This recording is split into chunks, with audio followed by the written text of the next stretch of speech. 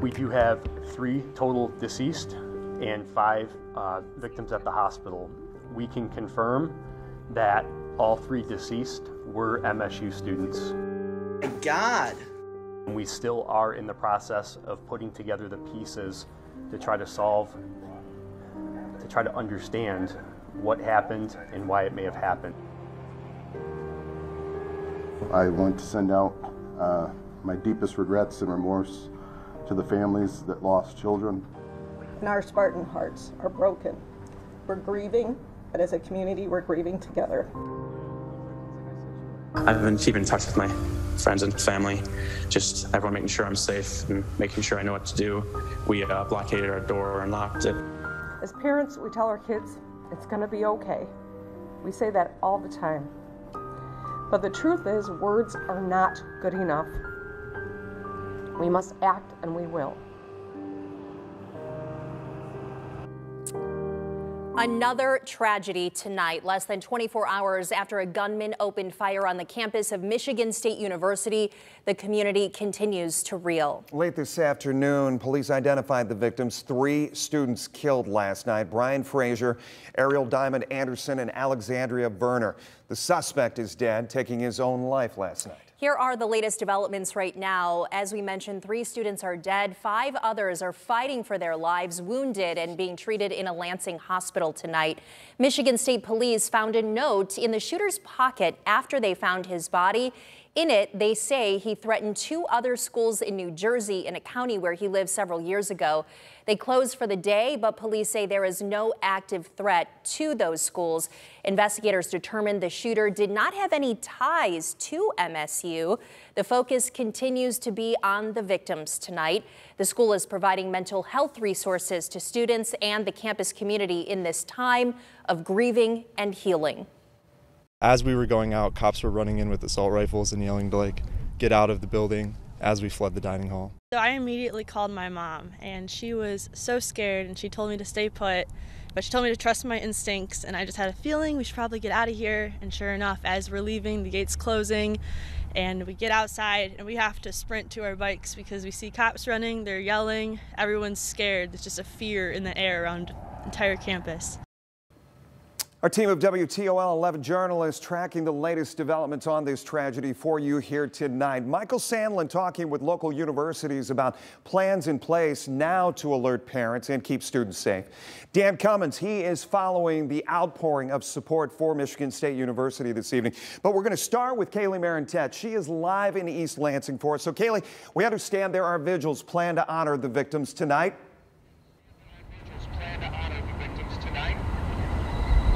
Jeff, any minute we're expecting students to walk up here to the Martin Luther Chapel, just a few minute walk from main campus across the street. A lot of students were over on campus at the two memorials set up there, one at the Rock, one at the Sparty statue outside Spartan Stadium. That's where hundreds of students have come to leave messages and leave flowers. We spoke to one student earlier who said that they're just tired of this and now they're left wondering why and how much longer is this going to happen. They're left with the heavy reality of what's happened on this campus and that they don't have three more Spartan family members. I don't understand the pain that they're going through, but I have my own pain and I feel for them. I was kind of just like prepping my body to be hit. Um, and once we hit the outside doors, everyone just like started sprinting to the cars. It was a mad dash.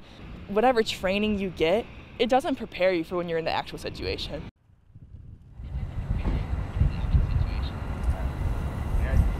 We are not allowed to bring our cameras into this vigil here.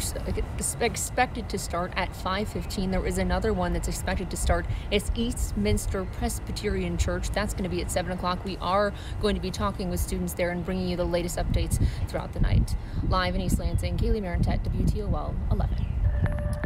On this day five years ago, police and families were searching for answers after another deadly school shooting, that one in Parkland, Florida. Today marked a day of prayer, service, and remembrance for the 14 students and three staff members killed at Marjory Stoneman Douglas High School in 2018. The shooting at MSU brings back painful memories and a message from Michigan Governor Gretchen Whitmer. We're all broken by an all too familiar feeling. Another place that is supposed to be about community, and togetherness shattered by bullets and bloodshed. We know this is a uniquely American problem. You just heard the governor talking about mass shootings. She calls them a uniquely American problem. And we're taking a look at some of those numbers tonight. So far this year, the U.S. has seen more than 5,000 gun related deaths. 215 of those victims have been minors. The, young the Gun Violence Archive reports 67 mass shootings involving at least four people wounded or killed, not including the shooters. Both students and staff at the University of Toledo, they are reacting to the violence on MSU's campus and discussing what can be done. Our Michael Sandlin was there on campus earlier today. Michael, what is UT's current plan of action if something like this were to happen and do the students feel safe? Jeff, safety leaders at the University of Toledo said they follow a set procedure of many college campuses. Their officers have been trained for an immediate response, and students and faculty instructed to hide and fight if they must. But some of the students tell me it might be time to take further measures. For senior Caitlin Schneider, the news of the MSU shooting has completely recontextualized walking around campus. I know it happened late at night, and like even last night, I was out late at night, just like walking around campus, like getting to my car and stuff, and like thinking like, oh my God, I could have been out at the same time that like that happened. That was like terrifying. But for U Toledo's Vice President of Public Safety, Jeff Newton, he says he doesn't need to wait for headlines to start thinking about that possibility. I, I know it hits the media uh, occasionally when there's when there's a national event, but we think about it daily, and we're always preparing uh, for an event like this. So um, I feel real confident in the University of Toledo safety plan. It's a plan that consists of two elements. Uh, you want a police department that can respond quickly and um, and, effectively, and you want a, a community that can uh, be safe by time and uh, take actions that will um, help them survive an active shooter situation. Students and faculty are trained with the Run, Hide, and Fight program, the same program used on MSU's campus.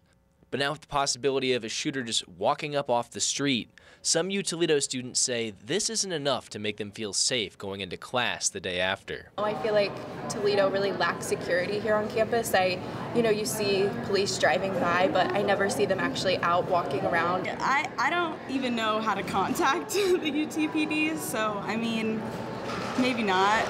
And especially with the shooting so close to home, both girls say school shootings have become the topic of the day amongst the students. And they've already started discussing solutions to make sure it doesn't happen here. Some kind of like entrance, like security thing, maybe somebody has to check in or like something. Even just security guards or the police like out walking around instead of just driving around like the border of campus in their cars would be beneficial for everybody. However, Newton says being a public university, an open access environment is part of the deal, so gates and added security might be likely, but it uh, might be unlikely rather. But he says they're always looking at additional security to things like resident halls to keep students safe. Coming up tonight at 6, we'll hear from BGSU security team as they discuss their safety plan and how it differs from both UT and MSU. Reporting in studio, I'm Michael Sandlin WTOL 11. People are supporting the Spartan community, of course, tonight all over social media. Especially some big names when it comes to Michigan businesses. Anchor Dan Cummins joins us live in studio now. Dan, what are some of these iconic names putting out there tonight in wake of this tragedy? Well, they want people in East Lansing to know that they are loved and supported. The Detroit Tigers took to their Twitter, sharing the Spartan logo with a message reading, We're all Spartan strong. Our hearts go out to the Michigan State community and everyone impacted by yesterday's tragedy. And Michigan based Biggby Coffee also feeling it tonight. They posted this message to Twitter, reading in part, Our hearts are heavy over this tragic incident and loss that occurred last night on Michigan State's campus. East Lansing, part of the Biggby Coffee origin story, and for many of our team members and baristas, it is home. Detroit Lions and Red Wings also offered support, and there's no doubt that support will continue to pour in tonight in the wake of this tragedy. We're breaking down the other loving messages from closer to home tonight coming up on WTOL 11 News at 6.